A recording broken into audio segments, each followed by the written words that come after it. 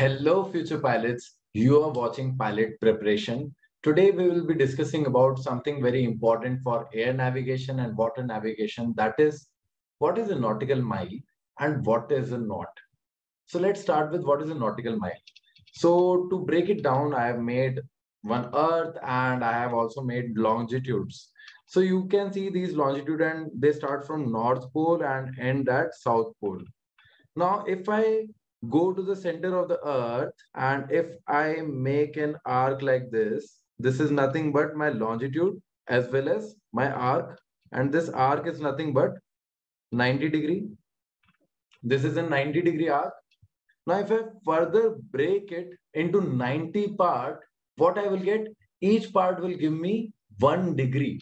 So if I break it into 90 part like this, just imagine that I'm breaking it into 90 part. I know it is not 90 parts, but okay, I'm breaking it into 90 parts. So each part will give me one degree. Now this each part, this part when subtended at the center will give me one degree. This is my one degree. And this arc will be nothing but 60 nautical mile. Isn't that amazing? So what I got is 1 degree is equals to 60 nautical mile. That is also equivalent to 60 minutes. As degree can be equal to distance. Here I have projected 1 degree on the earth surface. That earth surface arc length is nothing but 60 nautical mile and that is also equivalent to 60 minute. So what I can get from here is 1 nautical mile is equals to 1 minute isn't it? We always use nautical mile to measure the earth distance instead of metric system or statute mile. It is because nautical mile is a very standard unit for our earth's curvature.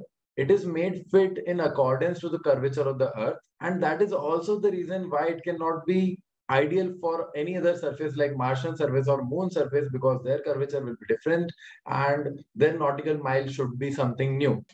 Now the next question arises, how to convert nautical mile into statute mile or kilometer? So one nautical mile is nothing but 1.852 kilometer and one nautical mile is also equal to 1.151 statute mile. Now that we have learned all the basics of the nautical mile, we can absorb the definition of nautical mile. Nautical mile is a length of an arc on the earth's surface which subtend one minute angle at the center as you can see, I have made this time not one degree angle, but one minute angle, which subtend one nautical mile at the center. Now that we have learned about what is nautical mile, we should also learn about what is knot.